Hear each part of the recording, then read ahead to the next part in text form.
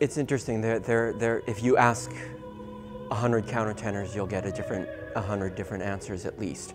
Um, in my opinion, I, I think the technique of singing falsetto for a man is not all that different from the technique of singing in full or chest voice for a man or for a woman singing head voice. I think much of the difference in sound between a man and a woman singing in the same range is about the size of the person and the different shapes of the different resonant, resonating chambers in a male or a female human.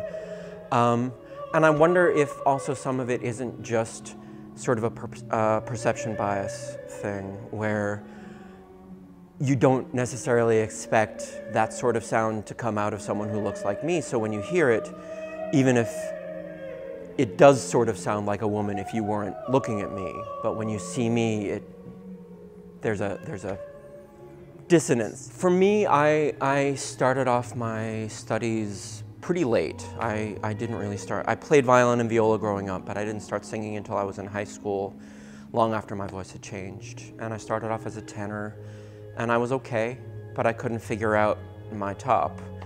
Um, and I always had this other voice that I always thought was a joke growing up long ago, um, until some people started telling me about the early music world and countertenors. I had never heard the term.